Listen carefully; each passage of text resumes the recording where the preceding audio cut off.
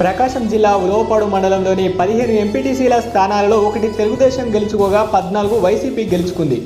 శుక్రవారం నాడు మండల ప్రజా పరిషత్ కార్యాలయంలో పదిహేను మంది ఎంపీటీసీ సభ్యులకు ప్రమాణ మహోత్సవం ఘనంగా నిర్వహించారు.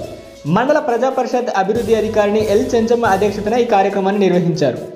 ఎంపీపీగా ఉలవపాడు మండలం కరేడు పంచాయతీ పరిధిలోని పల్లెపాలెంకి చెందిన వాయిల మస్తానమ్మ వైస్ ఎంపీపీగా ఉలవపాడు మండలం భీమవరం గ్రామానికి చెందిన ఎంపీటీసీ సభ్యులు దాసరి రమణయ్యను ఏకగ్రీవంగా ఎన్నుకున్నారు.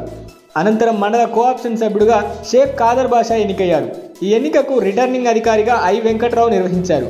ఈ కార్యక్రమంలో వైఎస్ఆర్సీపీ నాయకులు తదితరులు పాల్గొన్నారు చేస్తున్నాను ధన్యవాదాలు తెలియజేసుకుంటున్నాను కాబట్టి ఈ యొక్క ఈ ఈ తర్వాత కూడా ఎంపీటీసీ సభ్యులు కానీ వీళ్ళందరూ కూడా ప్రజాప్రతినిధులందరూ కూడా సహకరించి ఈ యొక్క ఉలవపాడు మండలం అభివృద్ధి పదంలో నడిపించగలరని ఆశిస్తున్నాను. థ్యాంక్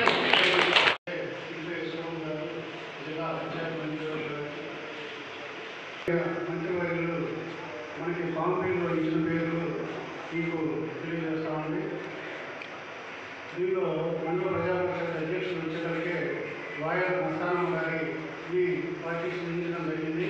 కాబట్టి మండల ప్రజా పరిషత్ అధ్యక్షులుగా వాయల మస్తానమ్మ గారిని ప్రెసిడెంట్ గారి నేను ఇస్తున్నాను దాన్ని ధృవీకరిస్తున్నాను ఆ పేరుని మండల పరిషత్ అధ్యక్షుల వారిగా. మరియు మండల పరిషత్ ఉపాధ్యక్షులుగా పార్టీ విప్పు దాస రమణయ్య గారు ఇచ్చారు. కాబట్టి మండల మన ప్రెసిడెంట్ గారు